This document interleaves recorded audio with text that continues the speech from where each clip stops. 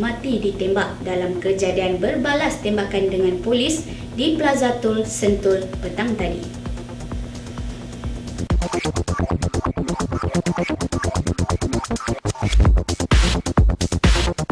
Penjenayah terbabit dipercayai terlibat dalam jenayah samun seorang wanita di Kelang Selatan jam 11.30 pagi tadi.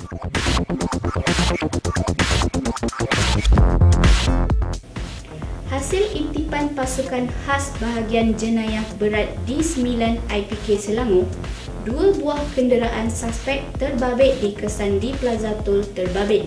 Namun ketika cuba ditahan, suspek melepaskan beberapa das tembakan ke arah polis.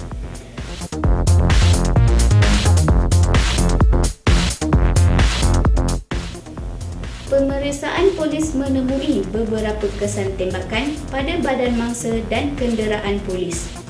Sepucuk pistol dan sebilah parang ditemui di dalam kenderaan suspek.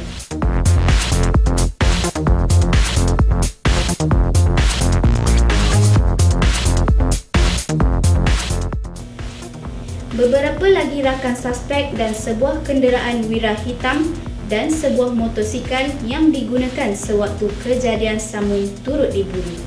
Identiti suspek masih disiasat.